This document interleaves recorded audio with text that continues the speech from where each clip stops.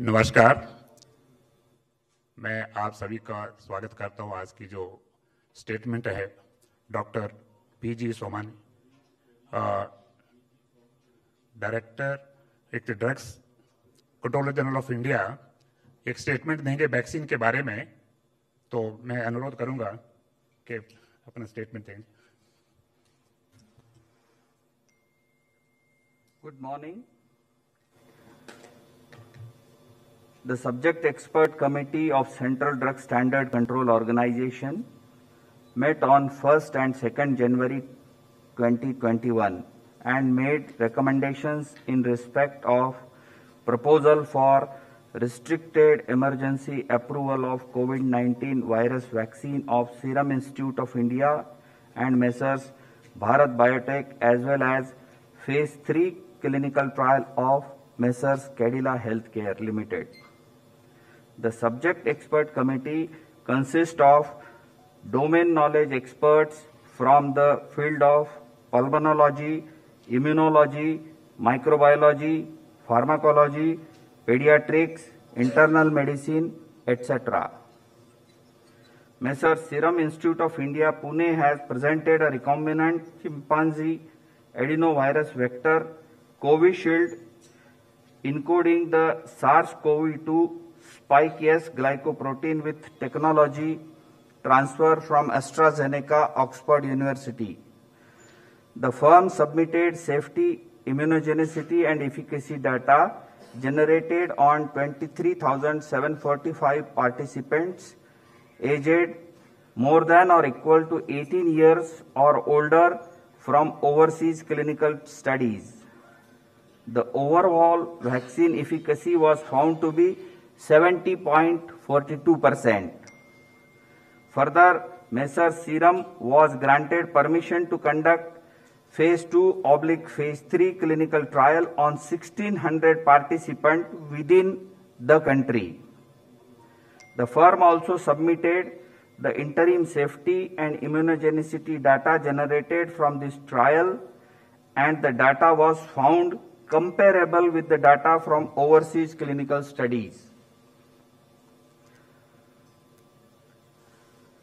After detailed deliberations, subject expert committee has recommended for the grant of permission for restricted use in emergency situation subject to certain regulatory conditions. The clinical trial ongoing within the country by the firm will continue. Messrs. Bharat Biotech has developed a whole virion inactivated coronavirus vaccine named Covaxin in collaboration with ICMR and National Institute of Virology, Pune, from where they received the virus seed strains. This vaccine is developed on Vero cell platform, which has well established track record of safety and efficacy in the country and globally. The firm has generated safety and immunogenicity data in various animal species such as mice, rats, rabbits, Syrian hamster, and also conducted challenge studies on non-human primates, rhesus macaques, and hamsters. All this data has been shared by the firm with CDSCO. Phase 1 and Phase 2 clinical trials were conducted in approximately 800 subjects, and results have demonstrated that the vaccine is safe and provides a robust immune response. The phase 3 efficacy trial was initiated in India in 25,800 volunteers and till date approximately 22,500 participants have been vaccinated across the country and the vaccine has been found to be safe as per the data available till date. The subject expert committee has reviewed the data on safety and immunogenicity of the vaccine and recommended for grant of permission for restricted use in emergency situation in public interest as an abundant precaution in clinical trial mode to have more options for vaccinations especially in case of infection by mutant strain. The clinical trial ongoing within the country by the firm will continue. The Cadila Healthcare Limited has developed a novel coronavirus 2019 nCoV vaccine using DNA platform.